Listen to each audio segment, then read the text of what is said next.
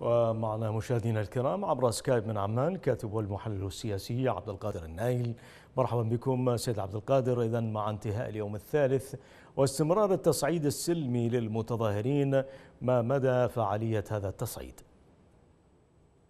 أهلا وسهلا بكم وبمشاهديكم الأعزاء. من المعلوم ان القضية السلمية التي أقدم عليها المتظاهرون هي خطوة مؤثرة وذات تأثير واضح تماما على السلطة الحاكمة وأحزابها الذين يتمترسون بطريقة القمع الأمني والقمع الانتهاكي لحقوق الإنسان من خلال القتل ومن خلال الاختطاف. وبالتالي رأى الجميع كيف يتم اختطاف مشتقات وقتل متظاهرين.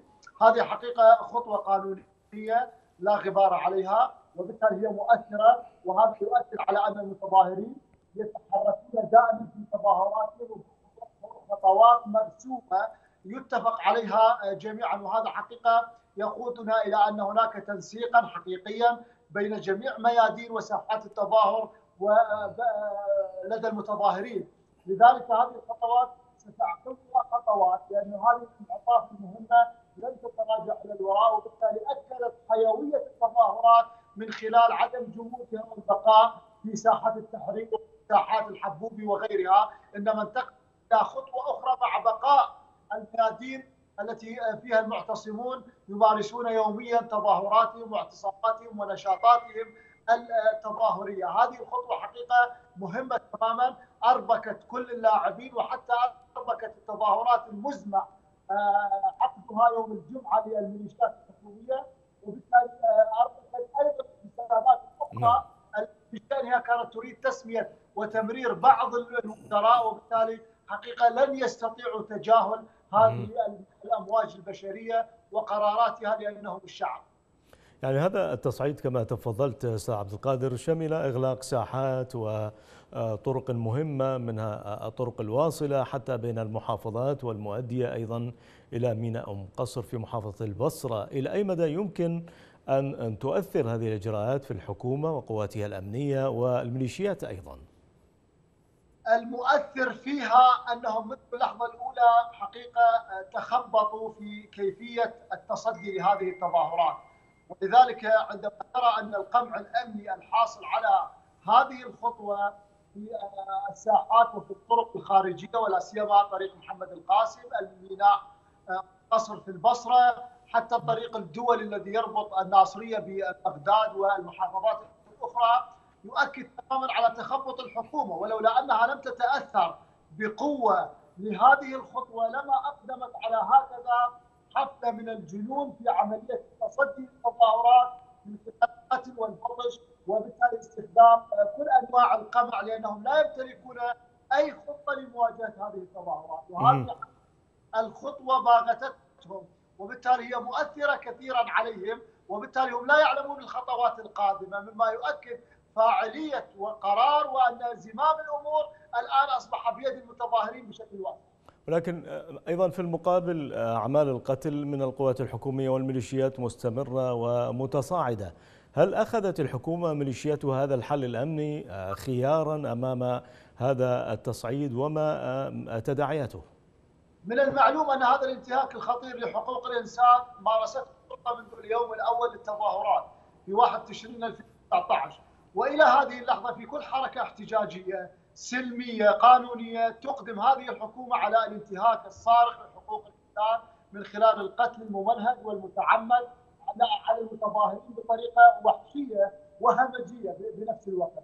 هذه الخطوة حقيقه ليؤكد على أن ضعفهم لأن القوي لا يمتلك ولا يذهب إلى الخيار الأمني. وبالتالي ذهابهم التصعيد العسكري. خطه وضعت منذ زمن قاسم سليماني الذي قتل بغارات أمريكية في بغداد. غرفه العمليات المشتركة التي فيها الإيرانيون والعراقيون وبعض نظام بشار الأسد. اتخذوا خطوة القمع التظاهرات والحل الأمني والعسكري لديها فهم لا يملكون حلولا سياسية ولا يستطيعون الحوار عبارة عن تجمعات سياسية جاءت بالتزوير وبالتالي حجة المتظاهرين ولأنهم الشعب ولأنهم مصدر السلطة حقيقة اربكهم ولذلك لا يمتلكون اي حلول لانهم متمسكين بالسلطة وبالتالي يريدون الاستحواذ الكامل على السلطة ولا خيار لهم لهم لأن إيران تريد بقائهم من أجل تمرير نفوذها في العراق، لذلك حقيقة خطوات الانتهاكات الخطيرة والدماء التي تسيل هي نعم. وقود الثورة وبالتالي ستزداد الثورة أكثر تاثيرا بسبب هذه الاستهدافات لأن المتظاهرون في ضمائرهم هذه الدماء التي سالت ولا يمكن التراجع والشعب العراقي كله يقف خلف المتظاهرين لأن مطالبهم عادله وبالتالي سيحفز آخرين للذهاب إلى هذه الثورة. أه، سعد القادر في مقطع مصور أه، ظهر أحد أفراد القوات الحكومية وهو يطلق النار على المتظاهرين مباشرة ثم يرقص فرحا يعني كيف يمكن تفسير هذا السلوك عبر ذلك المشهد؟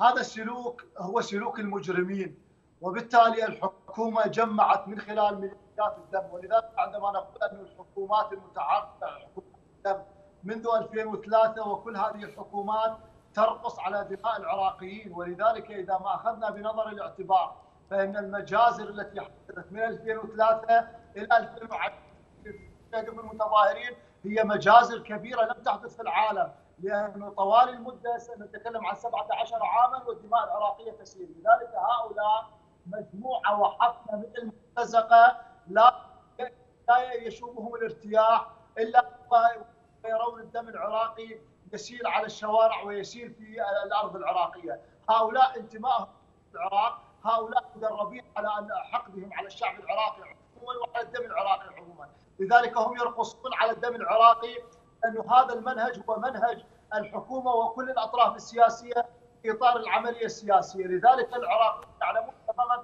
حجم الجريمة وهؤلاء المجرمون وإلى ماذا إلى إلى أين ينتمون؟ هذه مدرسة إيران التي تشغل بالإرهاب والدماء جثث الضحايا. أه، ناشطون ذكروا أه، أن قنابل الغاز الإيرانية عادت من جديد لتستهدف أه، متظاهري ثورة تشرين لماذا لم توقف إيران دورها في قمع الثورة بعد قتل القاسم سليماني؟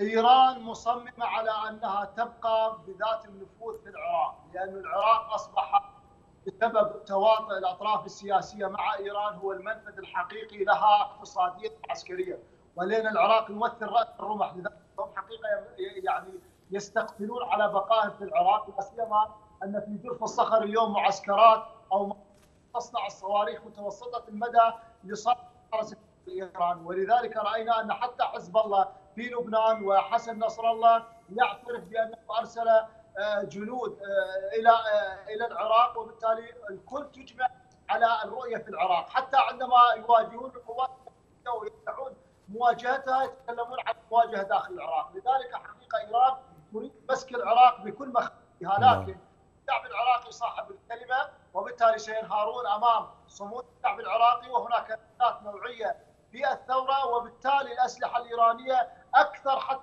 قنابل مسيله للدموع هناك معلومات دقيقة عن توقيع قناصات من السفارة الإيرانية إلى بعض الميليشيات من أجل قتل المتظاهرين وقد هناك وثقت بعض المرات العراقية القلق الحي داخل الجامعة الذين عولجوا ببعض المستشفيات في العاصمة العراقية شكرا جزيلا. لك عبر سكايب من عمان كاتب والمحلل السياسي عبد القادر النايل.